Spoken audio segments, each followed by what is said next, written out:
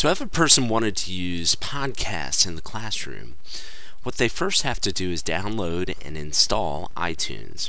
I'm assuming in this tutorial that you've already downloaded and installed iTunes. Once it is installed, double click on the iTunes icon, whether it's on your desktop or in your start menu. This is going to load iTunes. And what comes up is the iTunes Store. If the iTunes Store does not come up in the left-hand area of iTunes, click on iTunes Store. I'm going to go ahead and maximize my window here. Give it a second to load. So I'm in the iTunes Store. iTunes is primarily used for music, to get music onto iPods, but there are wonderful things called podcasts that are within iTunes as well. All of the podcasts are recordings or sound files, some of which might actually be video files, that are free to subscribe to. So to get a podcast, you want to click on the podcast link. This will open the podcast area of iTunes. Once the podcast area is open, there are a couple different ways to find content. You can browse, you can look at the top podcast, and you can see that NPR right now is the top podcast.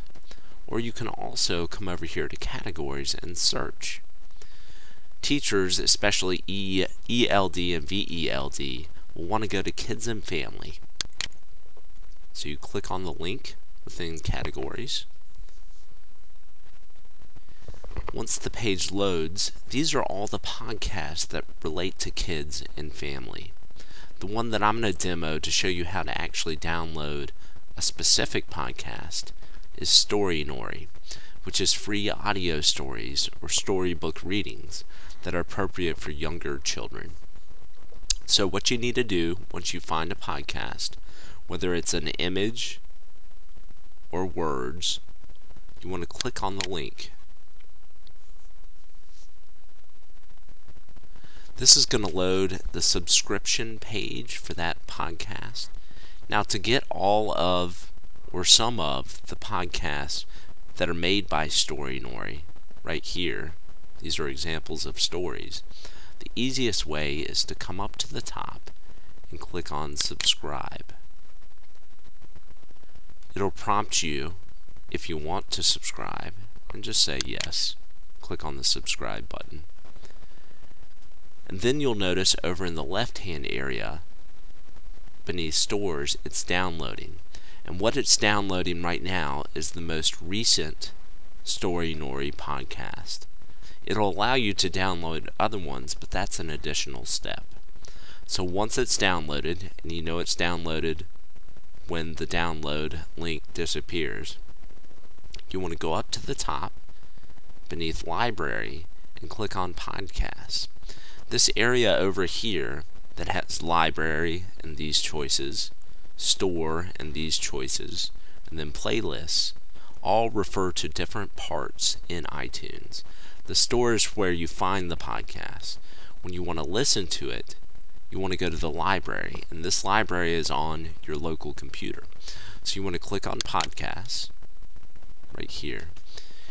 And these are all the lists of podcasts that I subscribe to. So to find the Storynory podcast, you look for Storynory, and it's right here.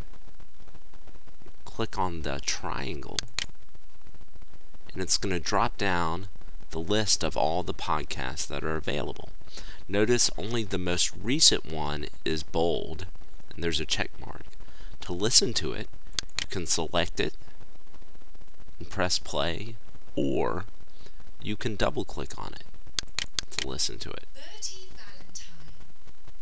Hello, this is Natasha, and I'm dropping by to tell you. If you want to get other podcast episodes, all you have to do is click on the Get button that's next to a title.